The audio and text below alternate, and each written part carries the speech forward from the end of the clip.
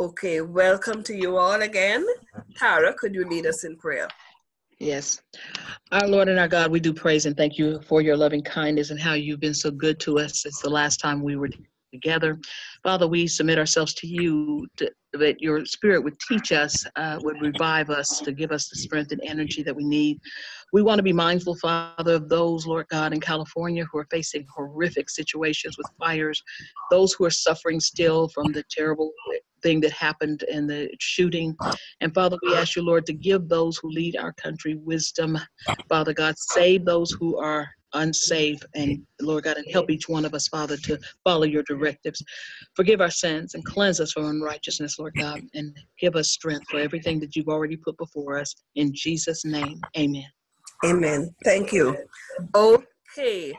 Um, piggybacking on what Kavita had just shared with us about the book that she is um, Kavita, I don't recall you giving me that title as the title you were going to review, unless I'm forgetting. Yeah, I had sent an email to you and you said, yes, these books are okay. In Okay. fact, I picked up from the library and from the BGU li- um, Library. Okay. library. uh, Okay, good. Yeah. Because Yeah. We do have a list, but that's fine. If you find something that is not on the list, um, Okay. I just want you to check. There is just a lot written on mentoring, just a Yes. and a lot written on mentoring women. And Yes. um, I will just explain to you that in terms of um,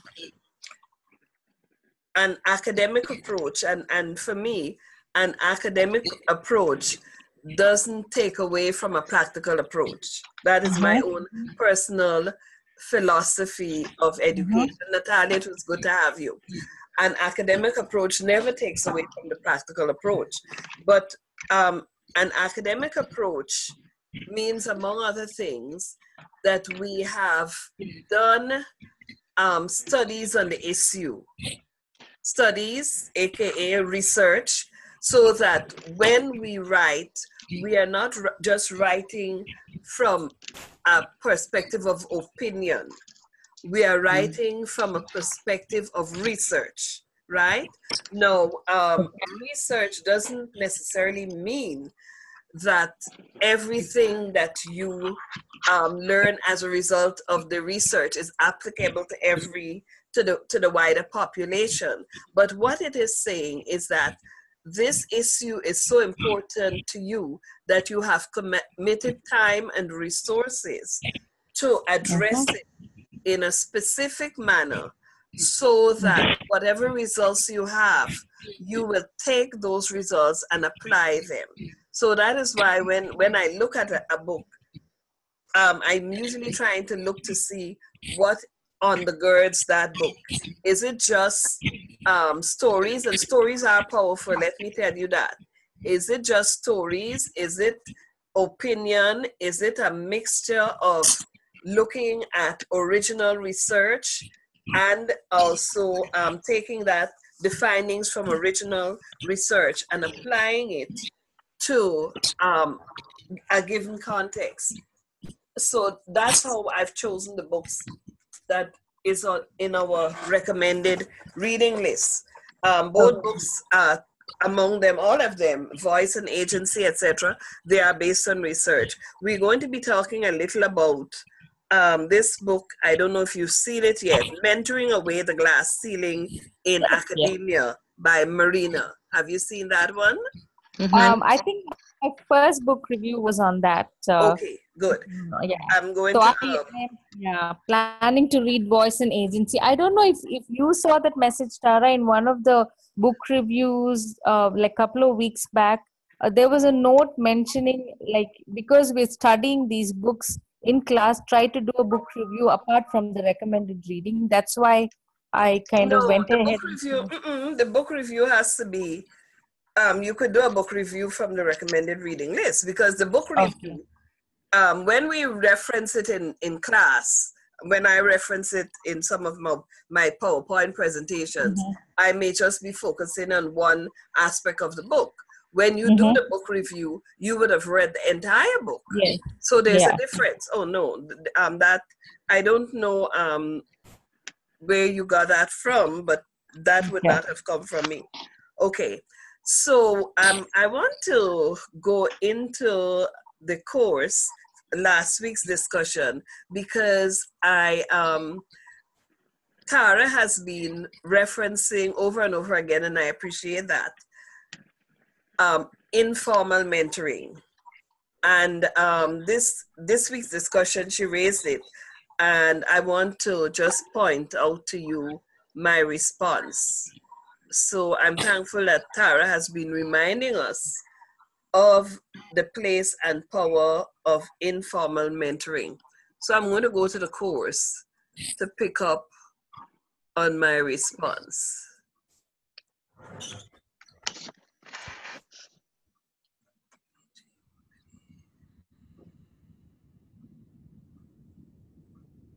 Yeah. Good night. Oh gosh. Oh. what have we done?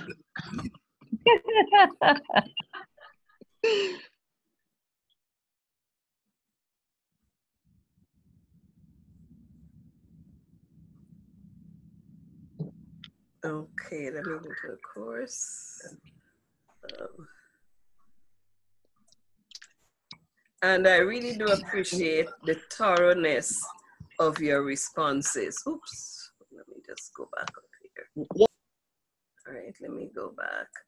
All right, lessons. I'll go to and I'll go to six. Okay. and I think it was, I think it was, a, was it the first discussion that you talked about informal mentoring? I don't remember. Let me see. Uh, or was it the third one? I think it was the second Maybe one. I m- think yeah, I was gonna say. Let's see.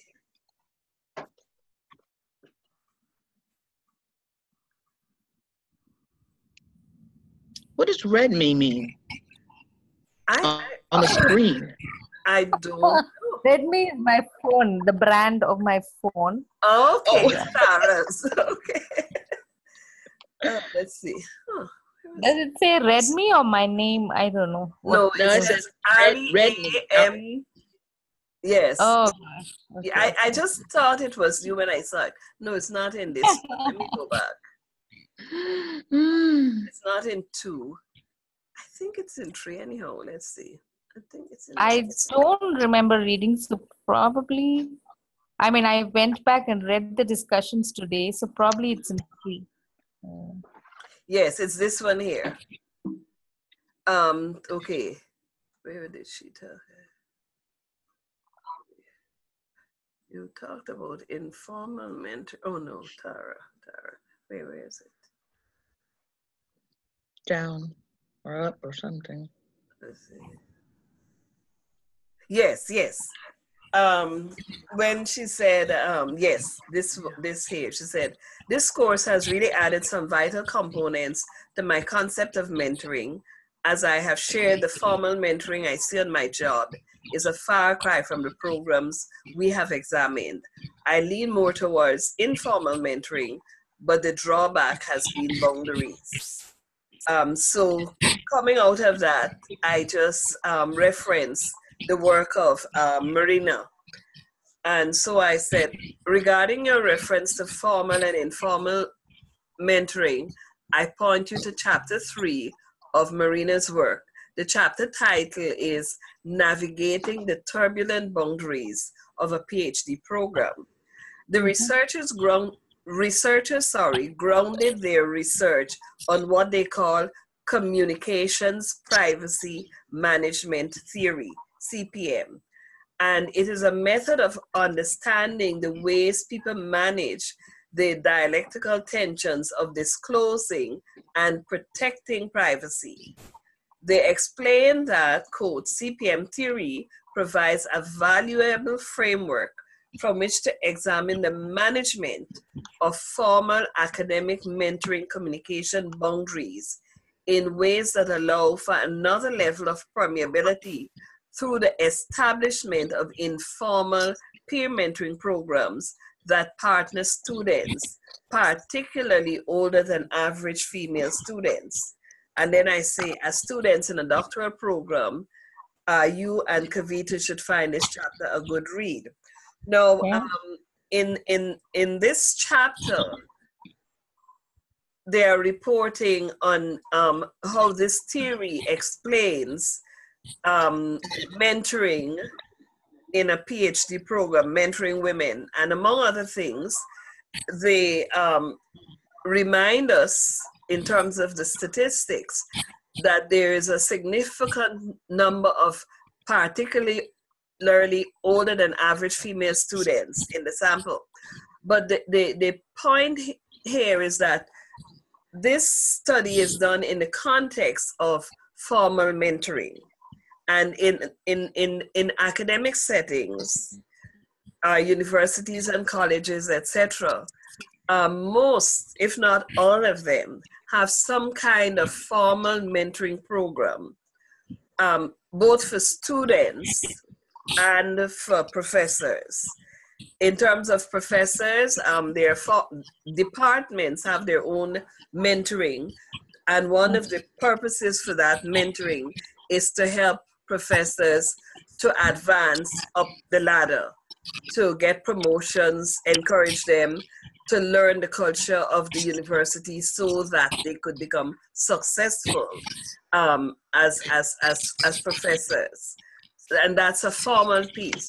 But in addition to the formal mentoring, there is always um, in in in the academic context there is a lot of informal mentoring that goes on um, both um, among students and among faculty. And what this research is, is, is, is um, acknowledging is that there is a role and a meaning and a contribution to be made to um, advancing women in academia through, sorry, informal mentoring. And what you find is that among students, you have the informal peer mentoring. Um, you have the situation where older students um, may mentor younger students from within the class context. I, one of the interesting features in our colleges is when you work with um, in the classroom people across generations. And one of the things that I've that has always fascinated me and I've been impressed with and it's it's a standout in in some of the classes the um the diligence and the commitment of the older students and the younger students some of them do notice that the older students they will come in and they will bring their assignments in on time and if they're late they will apologize and it's a different approach and an attitude to studies. It stands out. I'm telling you, I could tell you stories about that. But the younger students, they start to pick up on it. And um, some of them uh, uh, form friendships. The older student, the older, um, and a lot of these older people are women in the classroom. They form friendships and they encourage the younger ones to get with it in terms of their work. And that is informal. That's what I'm talking about. Okay. Mm-hmm. So then let me, as I'm in, let me just go to week seven. And um, just go over. This week and next week, you are starting to work on your projects. Mm-hmm. And because of that, the discussions that I've um, invited you to look at deal directly with your proposed project. They are not going to be graded discussions, but they are going to be foundational to getting you to focus on the project. And I'm going to ask you to share on what you're thinking about um, for the for your project. So we're going to look at this PowerPoint presentation, planning and designing a mentoring program. And then I'm mm-hmm. asking you to think of these questions that will focus your attention on the mentoring program that you will design because I want to give you the opportunity to get clarity on the scope of the project you would like to do. So I ask you to then list the questions that you have concerning the project. What will be the title of your project? And when I think of title, I also think of purpose. Your title usually reflects your purpose. Where and to whom will the target the program be target, targeted? That's mm-hmm. important. Where will you offer the program? Is it as a church or some other organization, a non-profit, etc.? And state the purpose of the project. So I'd like to hear you, to have you start thinking and um, documenting, putting in writing answers to these questions because these questions are foundational mm-hmm. to the project that you are going to do. So that is the first discussion. The second discussion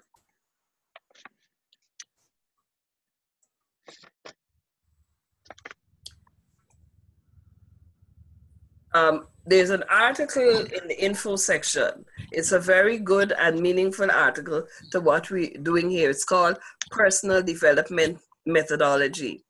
So I'd like you to read that article and say how you will use these guidelines in developing your program. You're going to find that article very helpful. So that's the second discussion. And like I said, it's an ungraded discussion, but I know you will give it your best because um, this, this, these two discussions focus your attention on your project. So let me stop here and ask you, what have you been thinking about in terms of your project? Uh, uh, Tara, do you want to go first? No, I'm taking a nap. Go ahead. oh man um, yeah so in my nonprofit we work with um, adolescent girls from um, underprivileged backgrounds and also from abused and abandoned and trafficked you know they are they're victims of human trafficking and so on. So um, you know i'm thinking whether i should do that uh, you know as a design mentoring program for those girls that we're counseling and doing aftercare and rehab for or the other option that i am been thinking of is um, you know i i was really challenged by mentoring women to bridge the gender gap uh, sort of thing. So i'm just wondering whether i should take um, create a program that mentors um, university students um, as they pursue you know go from their uh, undergraduate to postgraduate degrees to mentor them into uh, people who are you know kind of leadership mentoring sort of thing so i'm just kind of in two minds but i guess i by this week i will decide which oh, one yes. i should take yeah this, those are two two um, powerful and relevant approaches um, okay. mentoring but with everything in a in a course setting you can only choose one yeah. Okay. Let me push you. Um, and Tara, I'm going to do the same with you. So um, let let's go to that discussion. Okay. Where we ask the questions, clarifying and understanding the project. Yes, what is going to be important is focusing. Now, mm-hmm. um, looking at both ideas. Okay. Um, what would be tell me which of identifying the one that you are talking about what okay. would you um, say would be the purpose the main purpose of the mentoring program? Let's say you're talking about the the adolescent girls. Okay. Um, the purpose would be to um, we are so far we've only ha- been doing like a counseling and an informal mentoring program with them. So if i did a develop this as a you know mentoring curriculum or what have you this would be used in developing the girls um, into crossing over you know into um, choosing a lifestyle that kind of you know uh, is positive instead of some of them are coming from a background where it's easy for them to go back in, in into sex work and that sort of thing. Um, so basically mentoring them to uh, you know cross over and make wise choices and do well in life be self-sufficient and you know kind of it will include stuff like career counseling. It will include um, stuff like uh, you know um, what is it life skills building confidence in them dealing with the trauma of abuse uh, and crossing over and making sure that you know that uh, they live a complete life leaving the past behind sort of thing. Um, so that would be what the adolescent girls project would, would be. Yeah mentoring project would be. Okay. Let me stop and say to you um, kavitha there are programs mentoring programs that are designed for that purpose that you've just um, okay described. yeah yeah that doesn't mean you couldn't do yours but i'm yeah. saying to, that to say to you look at those programs find one or yes. two such programs and okay. see um, how they focus okay. that would be one way um, to look okay. at it okay. now the second program what would do you mm-hmm. what would you define as the purpose of the one for the university um, the women in university moving on to graduate work yes personally i'm kind of being more inspired and challenged to do the second one because that so. is mm-hmm. because that's going to be something new for me and um, for me i see even this doing this course and doing this project is kind of ushering me into a new season in my life where i'm going to take mentoring seriously. Um, so developing that because def i i in my context um, we do not have mentoring programs like you have in the us it's absolutely you know i have not come across you know the mentoring program that i've been reading. Now i'm like really inspired but we do not it is not very common. We've heard of coaching in in, in the work uh, world but not for students not for you know students pursuing education pushing them on to leadership bridge the gender gap right from when they are students and not give up on their dreams and giving them you know that support to move on to cross over in that sense. So i find it challenging because i have not personally seen it here. So mm-hmm. that's why i'm kind of inspired to do that okay no um that the second one where we have a lot of literature even in the course that would help yeah. you in that the okay. one that we just talked about that you have already reviewed mentoring away the okay. glass ceiling yes yes. relevant reading and the yes. other one women and leadership research theory and practice would certainly be um, helpful to you as you think. Could you could you, could you say that again? Women. The, the second one, it's in the okay. reading list. Oh it's yeah, yeah. Okay. Women, and, yeah. and leadership research theory and practice.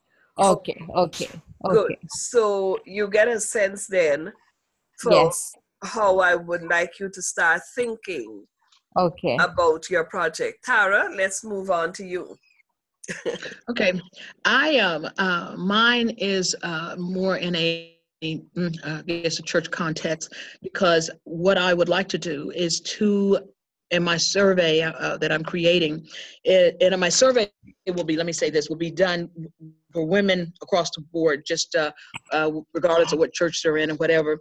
I'm searching out what has caused such deep divisions and brokenness in women by other women um, and and then once understanding that creating the mentoring program to help bring and facilitate a healing and a unity unity that would cause when women come into a church instead of them coming into almost a hostile sometimes environment or a suspicious environment uh, they would come into something more nurturing.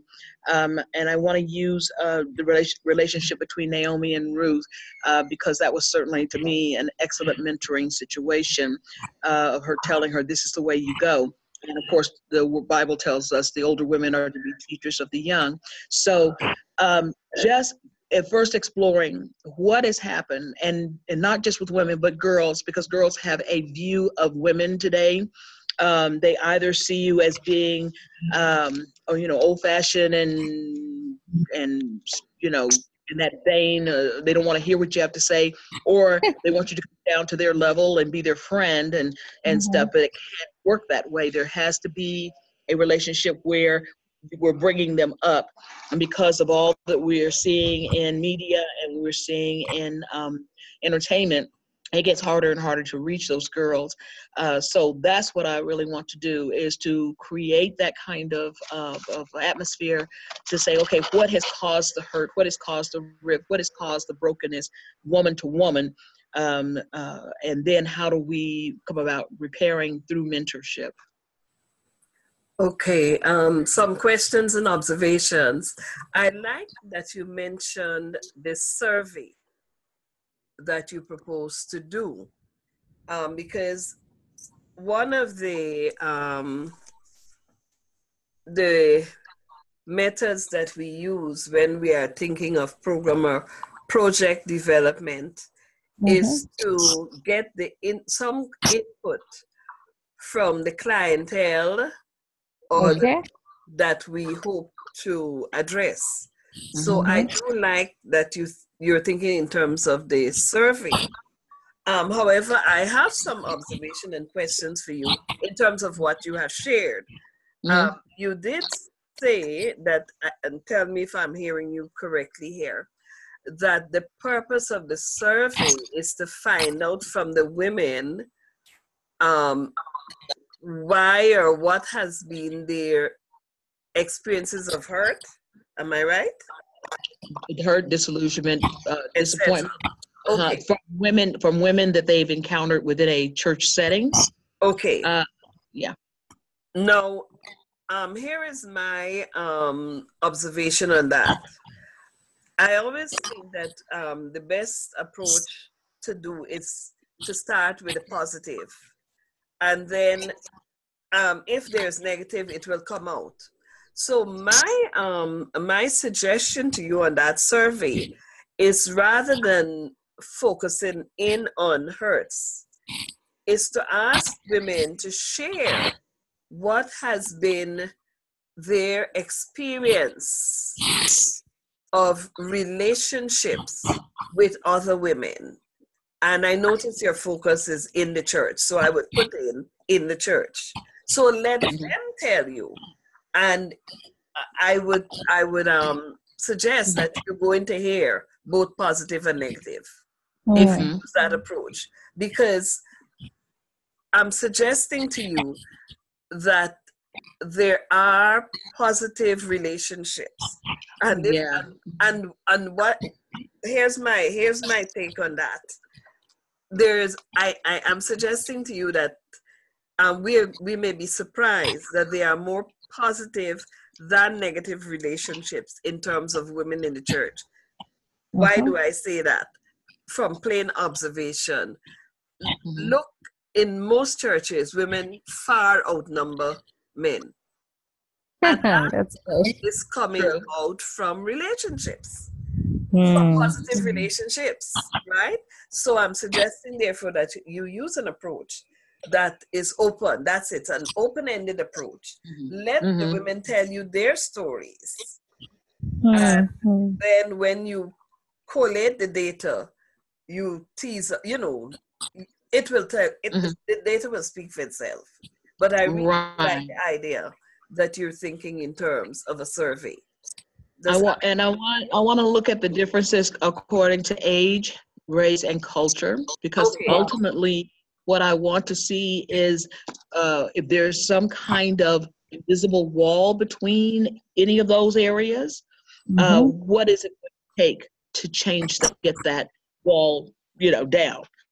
Um, and I and I think a lot of it is uh, just misinformation or misunderstanding, uh, as opposed to something hardcore uh, and stuff. But um, so I want to you know divide it into those segments of age, race, and culture so, and I want to, you know, of course, look at those who are who have committed to the church and those who have just gone and left because of whatever. I, mm-hmm. I want to look at the left. Okay. Mm. Um. Can I can I ask you to do something for me when you design that survey? Um. Mm-hmm. Send it to me and let me look at it and give you feedback. And, oh, and yeah. th- that survey is going to be part of your project because what you're proposing to do, which is the correct thing, is that you are getting input from the population you hope to serve through this program. Mm. So that is an excellent approach to to the study, to the to the project. Good. I appreciate your sharing that. Okay, let me share with you the PowerPoint presentation. I want to share it as a PowerPoint. So I'm going to come out of the course. Mm, should I do that? Yeah, I like to share it as a PowerPoint. And um, so let me stop share for a minute and go and pull it up from my um from my program and then I'll share again. No, I'd better share before because it has a way. I'm sharing again. I've come out. Eva, what time is it there? I have 11. You're asking me? Um, Yeah. It's about 9.45. Time to go to bed. Oh, really? oh my gosh. I wonder. I wondered if you were sitting in your bed with curlers and hair cream on and and and stuff, getting ready to go to sleep. I don't need to curl my hair. I'm trying to save. Um, I think I- can hear you better when the video is not on. That's why we're not using the. Uh, because I've been having some problems with my connection. So, yeah. So I'm not dressed for work for sure, but Uh, Okay. So um I'm I've pulled up our PowerPoint presentation because I, I prefer to um I call it instructional design applied to planning a mentoring program. Um okay. For week seven to nine, we will apply the various concepts, theories, and practices to the planning and design of a mentoring program of your choice. Since there is a learning and educational component to mentoring, I will have us examine and apply instructional design theory to planning and I, design. I don't see anything. Oh, you know. I don't see anything. Oh, don't Tara, see do it. you, Tara, do you see anything? no, No. we don't. Oh, I can't. I thought I shared the screen. Okay, let me come out of here and show. If you're not seeing it, it means that I'm not in share screen. Yeah. Okay. All right. Sorry. Let me share. Are you seeing my screen now? No. No. I see you. Okay. All right. Can you see my screen? I was just starting up. Oh yeah. Oh yes. See the class, the class screen, not the PowerPoint. That's right, because I came out of the class to go to the PowerPoint so that I could share it as a PowerPoint. So let me go here. Okay, quick access. Okay. Are you seeing now? Yeah. I see your all your files. Mhm. Ah, here it comes. Here it Yes. comes. Okay.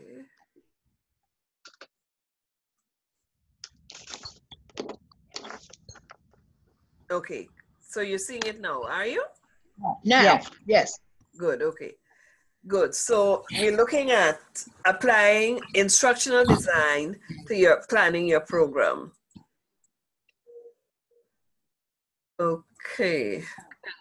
For week seven to nine, we will apply the various concepts, theories, and practices to the planning and design of a mentoring program of your choice. Since there is a learning and educational component to mentoring, I will have us examine and apply instructional design theory to planning and designing a mentoring program. In this presentation, I have highlighted Bloom's taxonomy with a view to having you use this to develop the goals and objectives of your proposed mentoring program. After viewing the PowerPoint presentation, I will have you write at least three mentoring outcomes that you will desire for the participants in your proposed personal development program. we will discuss what steps you will take to get part- participants to own this project. Um, instructional design apply to planning and designing a mentoring program. Maximize the effectiveness, efficiency, and appeal of instruction and other learning experiences. By now, I, I guess you recognize that mentoring represents a learning situation. Uh, mentoring does like education, there are outcomes that you should be able to identify for your mentoring program. It's an educational experience. Um, the process consists of determining the current state and needs of the learner, defining the end goal of instruction, and creating some intervention to assist in the, in the transition. Like an educational program, mentoring looks at the current state of the, the, the participants. As Tara pointed out, she's going to do a survey. So you want to look at the state, current state of the participants and understand their needs and their goals so that when you design a program, it would match their needs and their goals so that they would be willing to participate in the program that you have designed for their benefit. Mm-hmm. The outcome of this instruction may direct may be sorry directly observable, observable and scientifically measured or completely hidden and assumed. Because we are intentional in designing a program, um, in our in thinking through our design, we are going to be um, direct and clear about the outcomes that we are looking for. And these would have to be measurable outcomes. Mm-hmm. So that um, is important. Um, and I just did a quick um, rundown. I'm not going to spend time on this on Benjamin Bloom because the the the um, foundation that we're looking at is his taxonomy, and we are going to apply it to the development of our program. Um, this is the classic Bloom ta- um, Bloom's taxonomy. At the highest level is the ability to evaluate, to judge the value, etc. At the lowest level is what we call knowledge, the um, basic content question What do you know? Mm-hmm. When we think about mentoring, as we reflect on the, the general purpose of mentoring, we are, this is not where we are at all. Mentoring, the nature of mentoring is of such that it should force us to look at the higher levels of Bloom's taxonomy uh, analysis, synthesis, evaluation. Um, so this is foundational. You can't get here without being here. But this is foundational and this is assumed. But we mm-hmm. start to uh, make an impact when we get people to start thinking in terms of uh, analysis, synthesis, evaluation. So I'm just um, reminding you of that.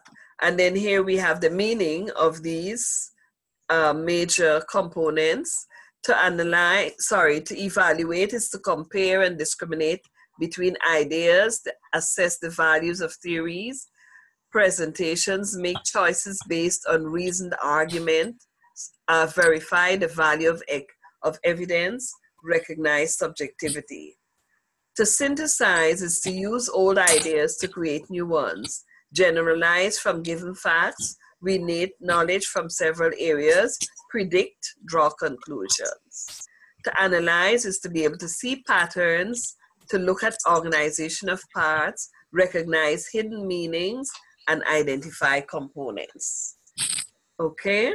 I'm sure Tara is familiar with this from her um, experience as a teacher. Um, then there are a number of there's language that is used when we um, use the taxonomy. And so they've identified for us the language in these areas. And again, I just point you to the higher levels mm-hmm. uh, analyze, calculate, compare, contrast. To evaluate is to argue, to assess, to attach, to choose, compare, etc. Bloom's taxonomy. There's a ref- sorry. Let me go back to there. There has been a revision to Bloom's taxonomy. Um, in the 1990s, Lorin Anderson, who was a former student of Bloom, led a new assembly which met for the purpose of updating the, the taxonomy, hoping to add relevance for 21st century students and teachers. It was published in 2001, and we have here a list of the language of the revised taxonomy. So we have the old terms and the new terms. Evaluation, synthesis, and analysis are the old terms at the higher level. In the new terms, creating, evaluating, and analyzing. Creating, um, we take note of the higher level. And then we have a description. Sorry. We have a description of these. Um, oh no. I have to get the previous.